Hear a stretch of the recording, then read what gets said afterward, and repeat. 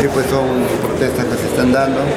Si bien es cierto, la constitución nos, nos dice que podemos hacer, pero no incitar la violencia, que es el, el- el tema en este momento que está causando muchos problemas al, al país. ¿no? ¿Ha tenido alguna comunicación, información, alcalde, con relación a la seguridad que tienen que brindarle a las instituciones públicas?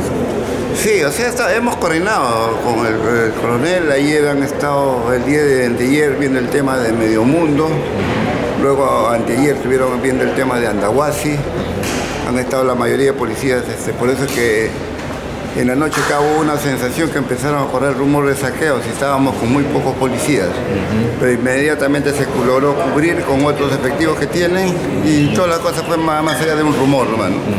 Creo que hay que mantener la calma en ese aspecto, ¿no? Ahora, bueno, eh, se manifiesta que las marchas van a continuar. El llamado es a la tranquilidad, que si van a marchar no afecten la propiedad pública o privada.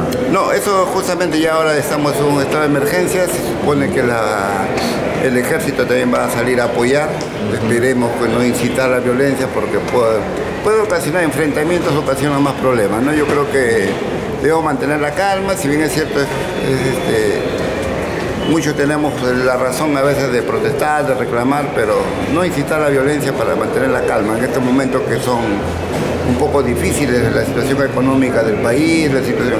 Huacho vive más que todo del turismo, imagínate que nos bloqueen las calles, las entradas de, de nuestras fuentes de ingresos de, de- de la ciudad van a mermar y eso va a ocasionar pues un deterioro en toda nuestra población. Bueno, que, ¿no? que cierren los comercios a 6 de la tarde ya hay repercusión, ¿no? ya repercute. Como te digo, nosotros somos eh, turística y comercial.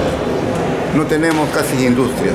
Entonces en ese aspecto tenemos que mantener calma y no promover que pues que tanto venimos luchando por promover el turismo y imagínate que, que estas cosas, bloqueo de carretera, de violencia. Y han cerrado- que dos mercados han cerrado ahí a- Bueno, lo han cerrado en prevención y ojalá sea para hacer también sus mantenimientos que son bastante necesarios. ¿no? Ahora, también los negocios de la calle 28 de julio, por ejemplo, han amanecido casi en su totalidad cerrados. Claro, es como te digo por los rumores que se tejen y, y- y tú sabes que a veces hacemos tantos esfuerzos por mantener un negocio, una empresa y imagínate que aparezcan de la noche a mañana atentando contra tu propiedad, tus bienes.